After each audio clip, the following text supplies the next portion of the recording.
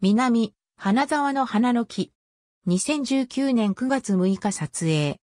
南、花沢の花の木は、滋賀県東近江市南花沢町にある国の天然記念物に指定された花の木である。花の木は、長野県、岐阜県、愛知県の3県を中心とする、主に木曽川流域の湿地周辺に自生する、カエデカカエデ属の落葉樹である。南、花沢の花の木の生育地の近隣にも同じく国の天然記念物に指定された北、花沢の花の木があるが、いずれも自生地である木曽川流域の自然分布域からは、外れた場所にあるため、両木ともよそから移植されたものと考えられており、南、花沢の本樹は、花の木として日本国内最西端に生育している。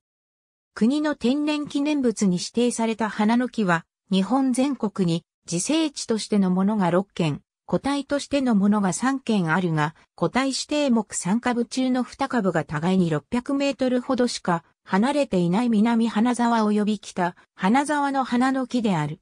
いずれも花の木の巨木として有数のものであることから、それぞれが1921年3月3日に国の天然記念物に指定された。南、花沢の花の木大津市南、花沢の花の木の一南、花沢の花の木は、滋賀県東近江市南。花沢町の八幡神社境内に生育する花の木の岡部で、同社の親睦にもなっている。この場所は、同じ樹種のもう一つの国の天然記念物である北、花沢の花の木から国道307号を約600メートルほど南南西へ向かった南、花沢交差点の南東角に位置している。南花沢地区及び北花沢地区から東方向へ約 3km ほどの場所に古都三山の一つ、くだら寺があり、南北二本の花の木は、くだら寺を回帰したとされる、聖徳太子が同時建立の再統治を訪れ、仏法の繁栄を祈願してこの地区の南北に一本ずつお供いの箸を刺したところ、それぞれが大きく成長して、南北二本の花の木になったという伝承が残されており、地域の人々はこれら二本の花の木を崇拝の対象とし、今日でも病気平癒、安産の神として敬われている。また、1734年に完成した地市、大見予知市略の牧野73愛知郡南花沢村では次のように書かれている。このように記されており、この樹木が江戸時代からよく知られていたことがわかる。倒壊した主幹の周囲から若い枝が成長している。左奥に倒壊した主幹が展示保管されている。2019年9月6日撮影。植物学者の本田正嗣が1958年にまとめた植物文化財天然記念物、植物によれば、南、花沢の花の木の大きさは、目通り間位約3.64メートルあり、これは花の木として有数の巨木であると解説されており、1995年に講談社より発行された日本の天然記念物では地上1.3メートルの範囲は5.2メートル、樹齢250年以上とされ、1990年に開催された国際下と緑の博覧会では、花博協会と読売新聞社が選定した新日本名木百選の一つに選ばれるなど、花の木としては日本最大の巨樹であった。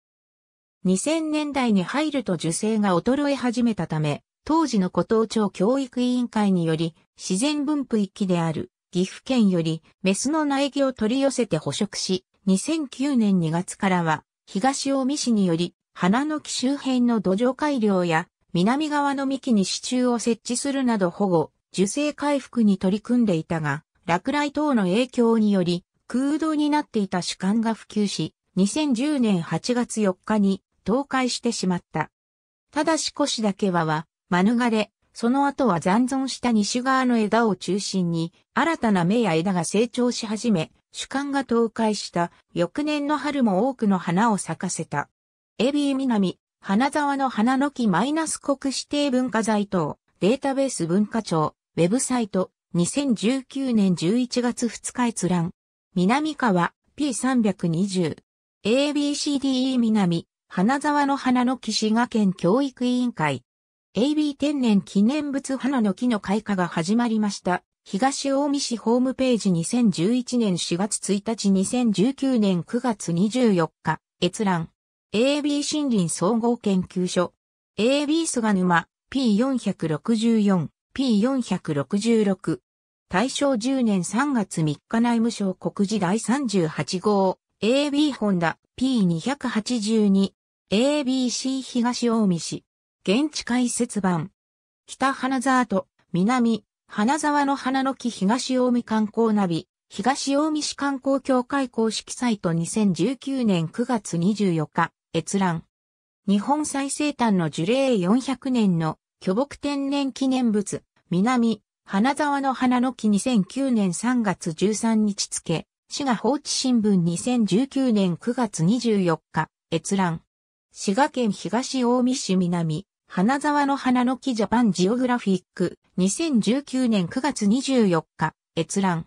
AB 南花沢と北、花沢の花の木公益社団法人琵琶湖、ビジターズビューロー2019年9月24日、閲覧。ありがとうございます。